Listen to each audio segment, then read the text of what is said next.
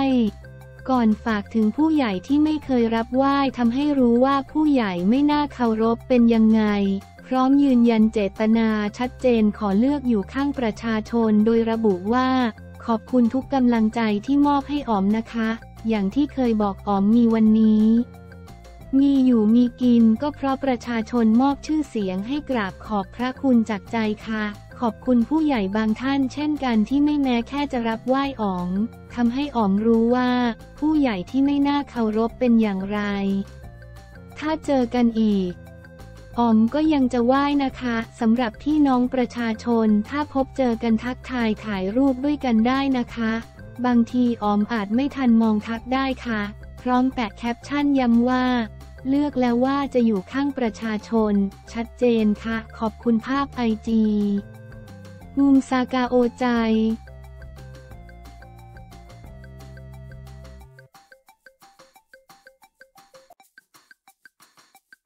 ข่าวลือเป็นจริง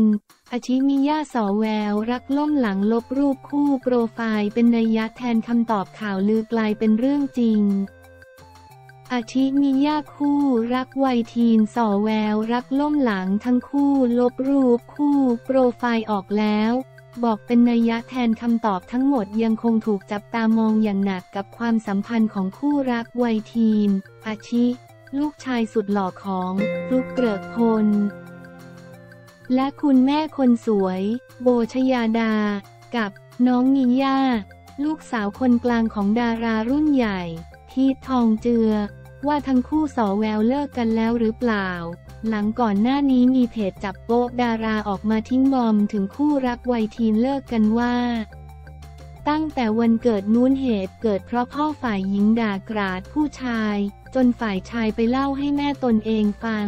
เลยเกิดเป็นเรื่องใหญ่ทะเลาะกันแรงมาก ท่ามกลางโลกโซเชียลที่แห่โยงไปที่คู่รัก อาชิมิยาหรือเปล่าเพราะ วันเกิดของน้องมิยาที่ผ่านมากลับไร้เงาของอาชิไปร่วมงาน ทั้งที่ก่อนหน้านี้ทั้งคู่เป็นคู่รักหวานเวอร์เบอร์แรงมาก ร้อนถึงคุณแม่โบคุณแม่ของน้องอาชิออกโรงตอบกลับข่าวลือแทนลูกชายว่า เรื่องข่าวลือลูกชายจีบน้องแอลลี่ไม่เป็นความจริง ซึ่งน้องอาชิไม่เคยนอกใจและไม่เคยคุยกับน้องแอลลี่ขนาดไลน์ไอจีเบอร์ยังไม่มีเลย รวมถึงนาตาลีภรรยาคนคนปัจจุบันของฟลุ๊ก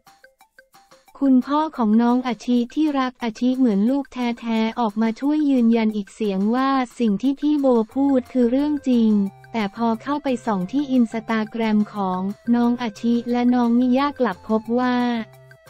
รูปโปรไฟล์ที่ทั้งคู่ใช้รูปคู่ที่เคยถ่ายด้วยกันยังอยู่เหมือนเดิมและไม่ได้มีการเคลื่อนไหวถึงข่าวลือแต่อย่างใด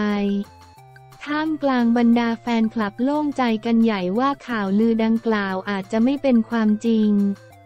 ล่าสุด วันที่ 5 กรกฎาคม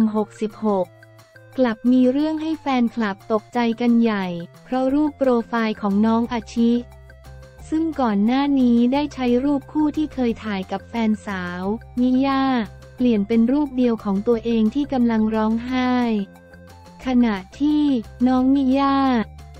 ซึ่งก่อนหน้านี้ได้ใช้รูปคู่ที่เคยถ่ายรูปกับแฟนหนุ่ม ก็เปลี่ยนเป็นรูปเดียวของตัวเองเช่นเดียวกัน ก็ไม่รู้ว่าสิ่งนี้เป็นการสื่อนัยยะแทนคำตอบความสัมพันธ์ของทั้งคู่ตอนนี้สอแววเลิกกันแล้วหรือเปล่า ขอบคุณอินสตาแกรม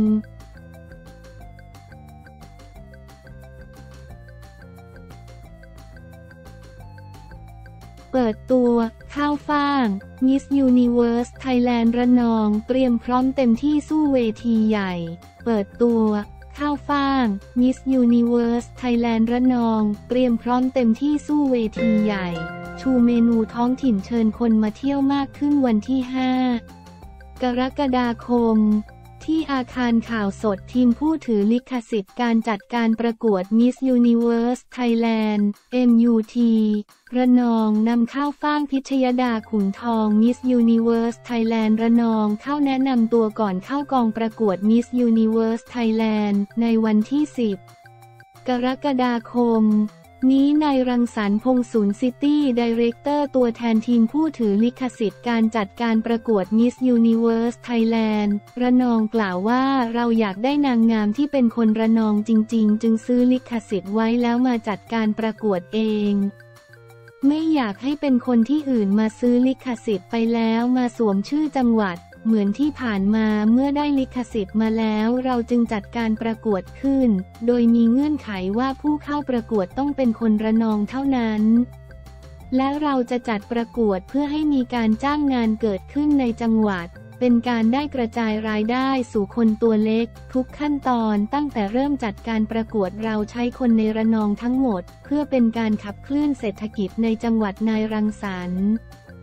กล่าวต่อว่าหลังจบการประกวด Miss Universe เวทีใหญ่แล้ว เราจะไม่จบแค่นั้น MUT ระนองจะมีรายการออนแอร์ต่อคือรายการจักรวาลบนจานอาหาร เราจะนำวัตถุดิบของจังหวัดมาทำเป็นเมนูต่างๆ ให้ทุกคนได้ชมรายการกัน โดยมีน้องข้าวฟ่างเป็นผู้พรีเซนต์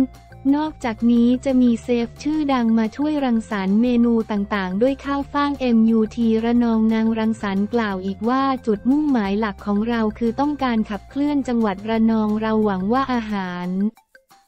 หรือสิ่งต่างๆ ในจังหวัดระนองจะถูกให้คุณค่าเหมือนตัวนางงาม ตนไม่กังวลว่าน้องข้าวฟ่างจะต้องไปสู้กับเบอร์ใหญ่บนเวที เพราะเชื่อว่าทุกคนมีเป้าหมายของตัวเอง จะต้องไปเอาชนะตัวเองบนเวทีด้านข้าวฟ่างพิชยดา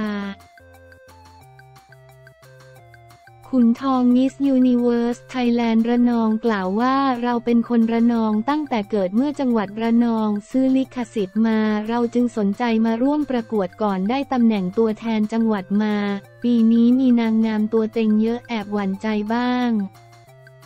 แต่ตนเตรียมพร้อมที่จะสู้กับอีก 76 จังหวัดอยู่แล้วข้าวฟ่างอยากเอาอาหารจากระนองออกมาพรีเซนต์ให้ทุกคนรู้จัก อยากให้รู้ว่ามีอะไรนอกจากสถานที่ท่องเที่ยว มีผักผลไม้อาหารทะเลที่สดมากๆของชาวระนอง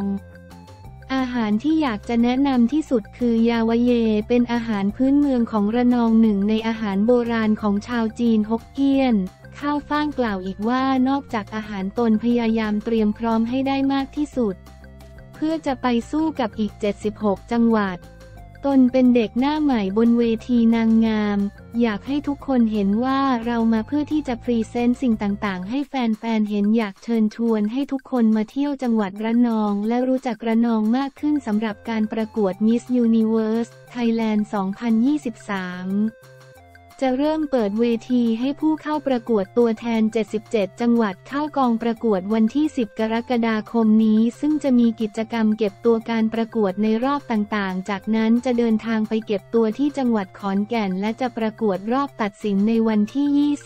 20 สิงหาคม